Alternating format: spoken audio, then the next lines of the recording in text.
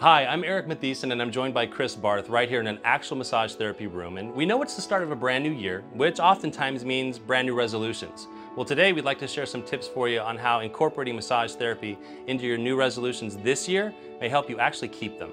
So we've got 60 seconds here we go. All right, Chris, so tell us, how do you incorporate massage therapy into your regular wellness routine? Absolutely, Eric. You know, a big part of my wellness routine is getting a massage done at least once a month. It helps in recovery of my workouts and it helps me de-stress. Awesome. Well, it sounds like there's some great general benefits. How about any specific physical benefits with massage therapy? There are a lot of great physical benefits of massage therapy, stuff like reducing inflammation, uh, recovering faster from your workouts, of course, relieving stress, sure. and all importantly, improving circulation. Awesome. Well, you sound like you have a lot of passion for the process. How'd you get to be such an advocate of massage therapy? Well, I've been a massage therapist myself for over 18 years, and I've seen firsthand the benefits of massage, not only physically, but mentally as well. There's a lot to be said for the healing power of touch. Absolutely. Well, to help reduce stress throughout the year, try a Massage Envy membership. You can save money on massages, on facials, and more every month.